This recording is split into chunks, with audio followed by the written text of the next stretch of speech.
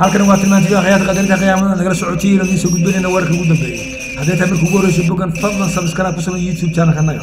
Haddaad nolol ku samaysana mahadsani wararka tilmaan t v maanta waxaad ku maqli doontiin midowga musharaxiinta oo cash sharaf u sameeyey. Madaxda dowlad goboleedyada ee ka soo qada shirkii wada tashiga afisione. Dowladda faransiiska oo qiratay inay lug ku lahayd xasuuqii ka dhacay dalka ruwanda milatariga soomaaliya oo sheegay inay dileen soddon iyo toddoba argixisada al-shabaab ah. Ra'isul wasaaraha dalka soomaaliya rooble ayaa guddi u magacaabay xaqiijinta cadaymaha xubnaha guddiga. Sarkaal odowa iyo qaar ka mid a saraakiishii badbaado qaran oo is arkay. Toddoba sana xabsiga ku jira dalka etoobiya oo calooshiisa laga soo saaray masaamiir iyo biro. Dowladda maraykanka oo ku dhawaaqday inay ka joojinayso dhaqaalo badan oo maraykanku uu siin jiray dalka etoobiya arrimo la xidhiidha tacadiga ka dhacay kililka tigreega madaxweynaha dalka maraykanka joe biden oo warbixin ka soo saaray dalka etoobiya intaasi waa warka madaxdiisii haddana warka tilmaan t v oo fidsan cashir sharaf sagootina oo loo sameeyey madaxda shanta dowlad goboleed. Midooda musharaxiinta ayaa xalay munaasabad sagootin ah iyo bogaadin u sameeyey ugu sameeyey hoteelka zira magaalada muqdisho. Shanta dowlad goboleed ee ka soo qayb galay shirkii wadatashiga kaasi oo ku soo dhammaaday heshiis laga gaaray doorashooyinka iyo habka ay u qabsoomayaan. Madaxda oo kulanka hotel jaziira ayaa cashada kadib waxaa halkaasi ku dhex maray kulamo kala duwan iyo wada sheekaysi la xidhiiray xaaladii ay la soo maray iyo arrimaha siyaasadda dalka.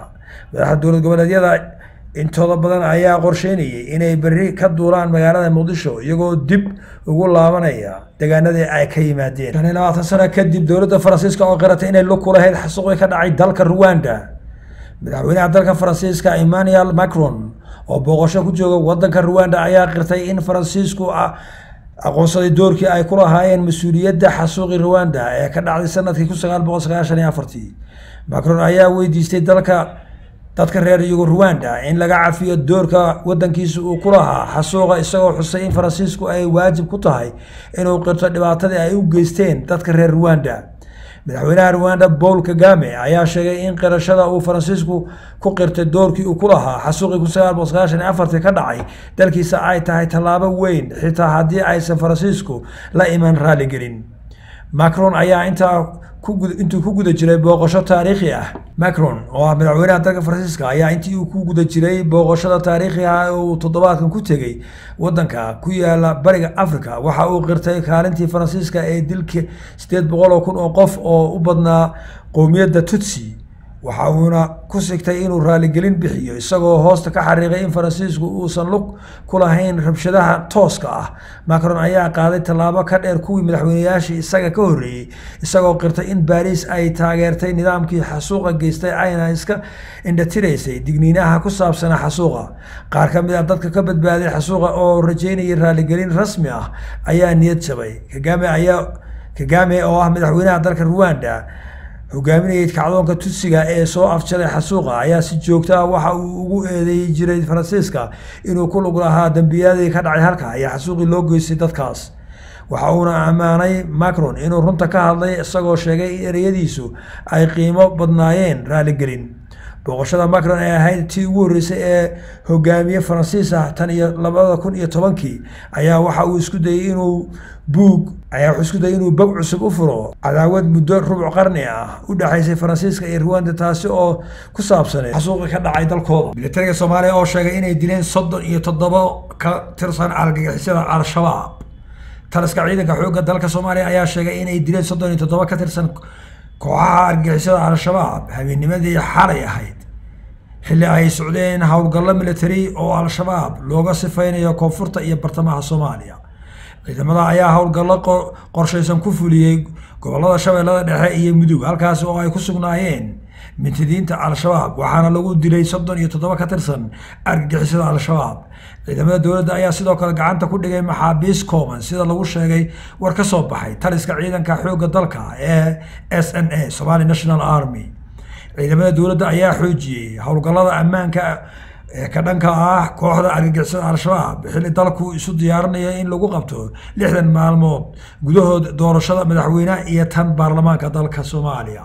Wasaaraha soomaaliya roble ayaa guddi heer wasiir ah u magacaabay xaqiijinta cadeymaha xubnaha guddiga maamulka doorashooyinka ee labada heer ee ay cabashadu ka jirto sida ku cad qodobada koowaad ee heshiiskii golaha wadatashiga qaran ee doorashooyinka guddigan uu magacaabay ra'isul wasaare roble ayaana eegi doonaa cabashada rasmiga ah ee laga soo gudbiyey xubnaha guddiga farsamada heer federaal iyo heer dowlad goboleed iyo kuwa xalinta khilaafaadka.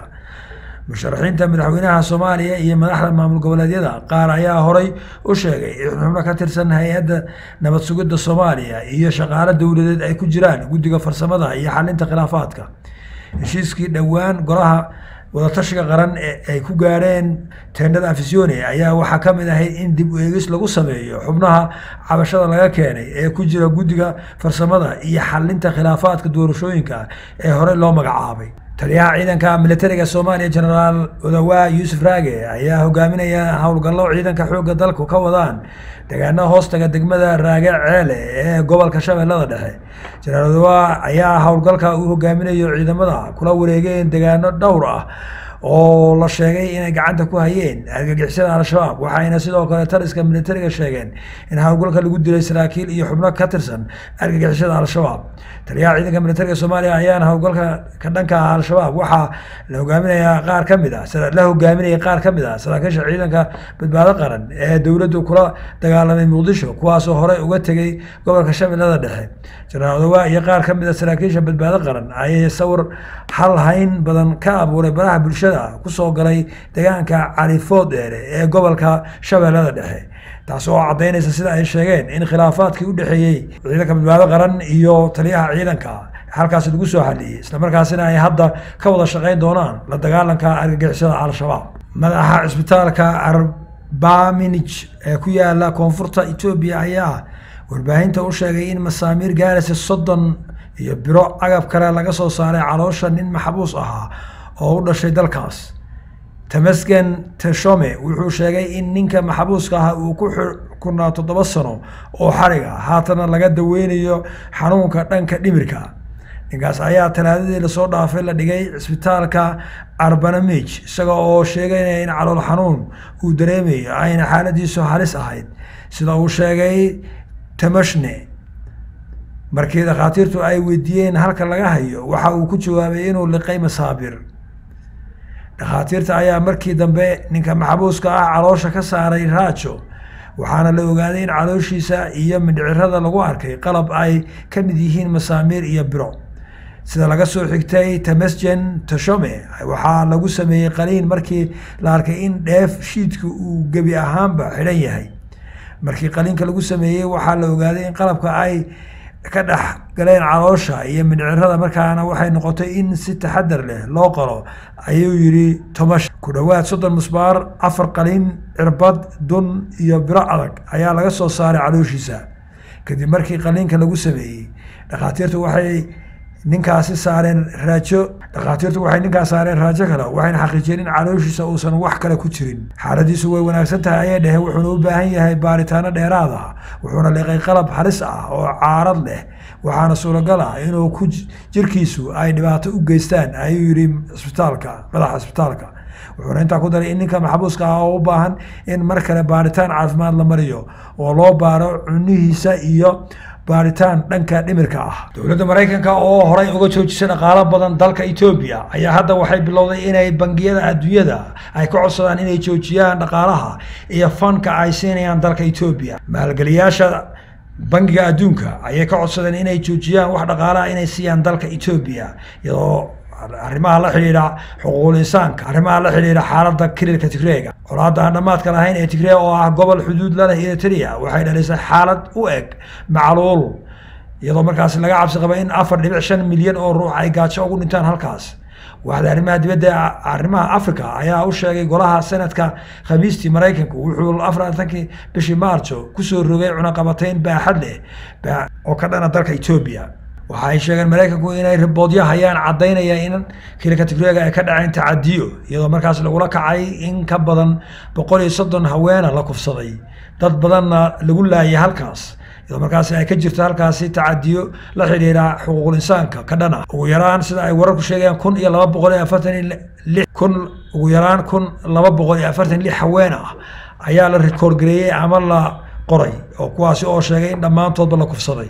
Oo ay kufsadeen ciidamadu. Tallaabadan uu maraykanku ku qaaday ee ah in la joojiyo dhaqaalaha la sii dalka etoobiya ayaa waxay saameyn ku yeelan doontaa bangiga adduunka iyo international monetary fund kuwaasi oo lacago badan ka hayn doona oon siin doonin dalka etoobiya taasi oo dhalin doonta in dalka dhaqaalihiisa uu hoos u dhaco waxaa maraykanku uu siiyey dalka etoobiya hal bilyan oo dollar sannadkii la soo dhaafay. Madaxweynaha maraykanka joe biden oo warbixin ka soo saaray kirilka tigrega iyo xaaladda dalka etoobiya. Madaxweynaha maraykanka joe biden ayaa ku bilaabay warbixin uu soo saaray. Waxaan aad uga xumahay ayuu yidhi. Kana welwelsanahay ayuu yidhi xaaladda faraha ka baxday iyo dhibaatada dagaalka iyo xaaladda sii adkaanaysa ee kirilka tigrega ayuu yidhi iyo qowmiyadaha kala duwan ee etoobiya oo dhibaato ka dhex taagan tahay. Waxa uu sheegay in xaaladda bini-aadnimo ay tahay large scale ama xaalad ballaaratay oo loo geystay dhibaatooyin shacabka halka ku nool.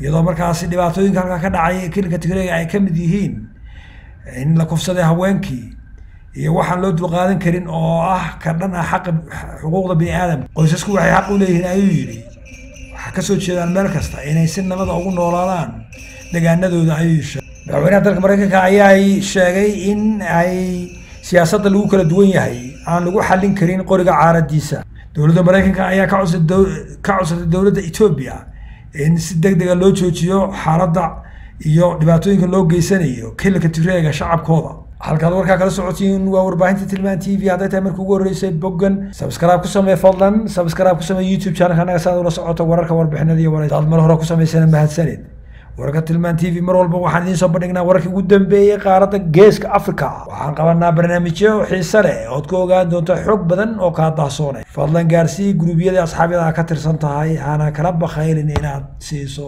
subscribe